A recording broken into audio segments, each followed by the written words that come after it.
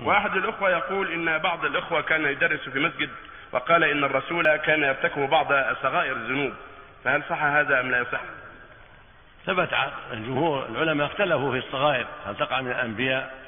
على قولين الجمهور يقولون أنها تقع منهم الصغائر لكن لا يقرون عليها يوفقون وينبهون حتى لا حتى لا يستقروا عليها بل يدعونها ويتوبون إلى الله منها وأما الكبائر فلا تقع منهم عليهم الصلاة والسلام.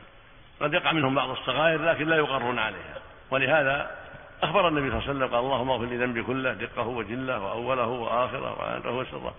اللهم اغفر لي جدي وهزلي وخطئي وعمدي وكل ذلك عندي. اللهم صل عليه وسلم.